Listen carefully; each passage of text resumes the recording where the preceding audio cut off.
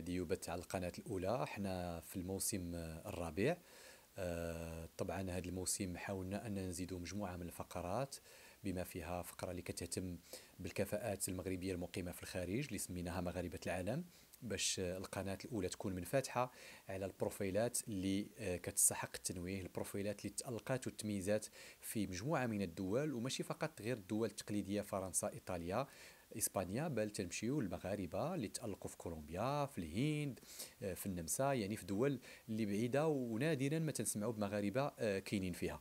كذلك آه، فقرة مبادرات اللي انفتحنا على المبادرات الإيجابية واللي كتستحق أنها تكون آه، قدوة إيجابية وقدوة حسنة للشباب والأجيال الصاعدة قصص نجاح مجموعة من الفقرات لدرجة أن البرنامج الآن تحول إلى مجلة فيها جميع الفقرات التكنولوجيا قصص نجاح زوم آه، مبادرات تراث نجوم أسرتي الصحة كذلك يعني تنركزوا على التحسيس والتوعية. البرنامج طبعا من إنتاج القناة الأولى وتنفيذ الإنتاج آه، شركة إيماج فاكتوري.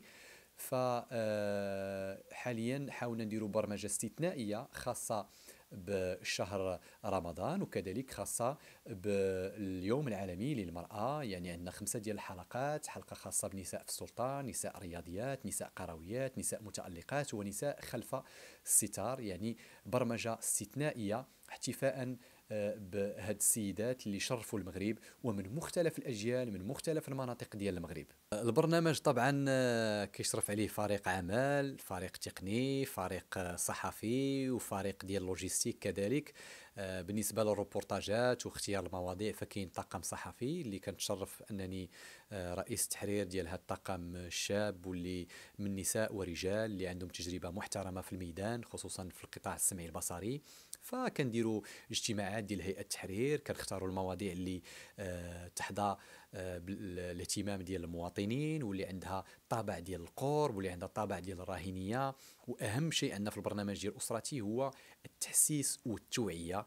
لأن هذا الموضوع هذا مهم جدا عند المواطنين.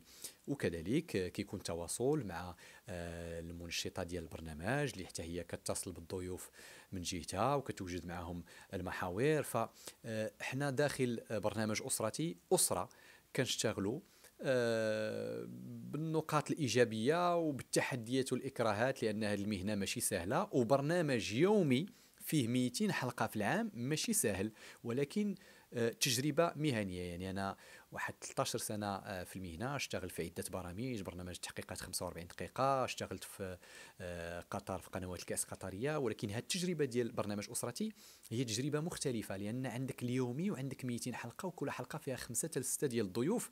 فماشي سهل أنك تواكب هاد هاد الوتيرة ديال البث ولكن الحمد لله بروح العمل الجماعي بفريق العمل بالتضحيات ديال كل الناس اللي كيشتغلوا معنا سواء اللي كيبانوا في الصورة سواء اللي في الكواليس كيقدر ينجح العمل وبالاحترام المتبادل والثقة كذلك ديال المسؤولين سواء مديرية الإنتاج آه، في القناة الأولى أو المسؤولين آه، في الشركة المنفذه للإنتاج. الحلقات ديال رمضان حاولنا أن نديروا حلقات اللي كتواكب هذه المناسبة من خلال مواضيع جديدة برؤية مختلفة بزاوية معالجة مختلفة لتفادي التكرار. ومع ضيوف اللي آه، متميزين في المجالات اللي إحنا بغينا نتكلموا عليها. فكاين التحسيس والتوعيه على مستوى الصحة بدرجة أولى لأن مهم أننا نتكلموا على آه، الصحة ديال المغاربة. كل واحد آه، أعطينا حقه وجبنا الأخصائيين اللي متمكنين من المجال اللي كيتكلموا عليه. كذلك في الفقرة ديال مع وليداتي كيفاش نتعاملوا مع الوليدات في هذا المناسبة. آه، قصص نجاح اللي تميزوا آه، آه، في شهر رمضان.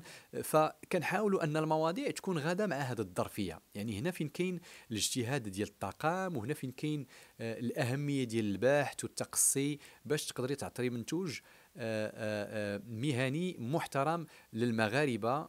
لأن الشعب المغربي أو المشاهد المغربي بشكل عام هو ذكي جدا. فبالتالي كيحترم المنتوج اللي كيحترمه